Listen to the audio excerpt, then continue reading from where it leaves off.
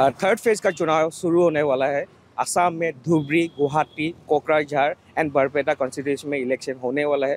Delimitation के बाद जो धुबरी और बरपेटा कॉन्स्टिट्यूंसी है, जो मेन मुद्दा है इस बार के लिए रियलमेशन होने के बाद पहले बरपेटा ऐसा कॉन्स्टिट्यूंसी था जहाँ पे माइनॉरिटी वोट्स काफ़ी मैटर करता था। पर जितना भी माइनॉरिटी एरिया से अभी अभी बरपेटा कॉन्स्टिट्यूंसी से धुबरी कॉन्स्टिट्यूंसी में घुस चुका है, क्योंकि ये बात हम लोग को जानना होगा कि बरपेटा एक जगह है जहाँ पे सत्रह आसाम का जितना भी सत्रह एरिया है, जितना भी यहाँ पे सत्रह से है, यहाँ पे काफ़ी हिंदू का काफ़ी वोट बैंक क्या करता था।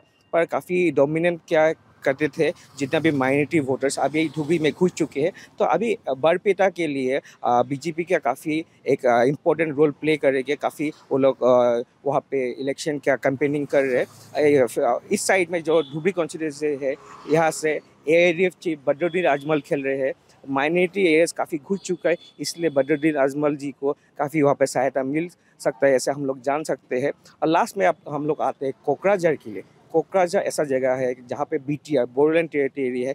बी टी आर एकॉर्ड होने के बाद जो बीजेपी गवर्नमेंट ने किया है कि पीस एंड स्टेबिलिटी काफ़ी आया है इस एरिया में। तो काफ़ी बीजेपी इन्वेस्ट कर रहे हैं, जो बी टी एरिया है, जो कोकराझार कॉन्स्टिट्यूंसी है, वहाँ पे काफ़ी इन्वेस्ट कर रहे हैं, क्योंकि बीजेपी गवर्नमेंट ने काफ़ी किया है और उनका जो एलाइस है U P P L P P L candidate को वहाँ पे प्लेस किया गया है। बीजेपी काफ़ी कॉन्फिडेंट है, जो कोकराझार सीट है, वहाँ पर काफ़ी कॉन्फिडेंट है। तो हम लोग को ये भी देखना होगा, जो बरपेटा कॉन्स्टिट्यूंसी है, वहाँ पे जो सटर लैंड था, काफ़ी एंक्रोचमेंट हुआ था। तो अभी बीजेपी गवर्नमेंट एंक्रोचमेंट के लिए काफ़ी मुद्दा उठा रहे।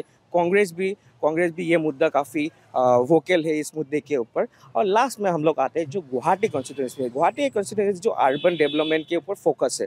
तो बीजेपी का ये मानना है गुवाहाटी में कि काफ़ी डेवलपमेंट हुआ है। वो लोग ब्रिज का मुद्दा, जितना भी डेवलपमेंट यहाँ पर ब्रिजेस हुआ है फ्लाई हुआ है, रास्ता हुआ है, काफ़ी डेवलपमेंट आया है। Business in case of business का काफ़ी डेवलपमेंट देख सकते हैं।